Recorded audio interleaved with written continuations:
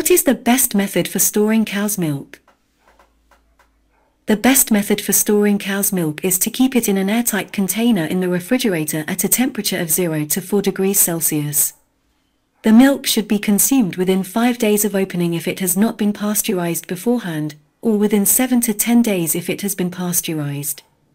Additionally, it is important to avoid contact with the milk with foods with strong odors or flavors to preserve its original flavor and aroma.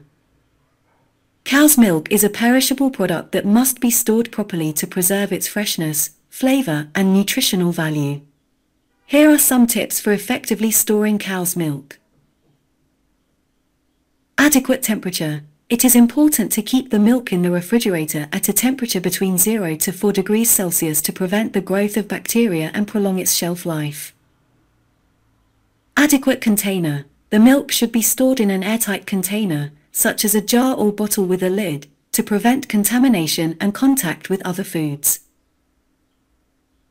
Expiration date. It is important to check the expiration date of the milk and consume it before it expires. Pasteurized milk usually has a longer shelf life than raw milk and can last up to 7 to 10 days after opening if stored properly in the refrigerator. Avoid contact with other foods. Milk is sensitive to the flavors and odors of other foods, so it is important to avoid contact with foods with strong odors or intense flavors. In summary, storing cow's milk in an airtight container in the refrigerator at an adequate temperature, checking the expiration date and avoiding contact with other foods are the keys to maintaining the freshness and quality of the milk.